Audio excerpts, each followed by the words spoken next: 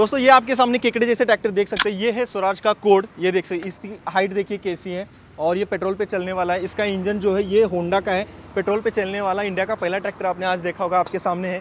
उसके साथ साथ यहाँ पे इसका जो स्टेयरिंग होता है स्टेयरिंग नहीं, सीधा बाइक जैसा यहाँ पे हैंडल दिया गया है। यहाँ पे स्पीडोमीटर है। पीछे से आप देख सकते हैं, इसमें जो है आप रोटर चला सकते हैं अलग अलग चीज़ें इंप्लीमेंट यहाँ पे लगा सकते हैं। ये जैसे कि रोटर यहाँ पे लगा हुआ है। इसमें दो मॉडल एक हाइट वाला, एक छोटा है। दोस्तों, इसकी कीमत है दो लाख बीस हज़ार। ये केकड़े जैसे दिखता है। और इसमें दो लाख दस हज़ार ना? दो लाख दस हज़ार।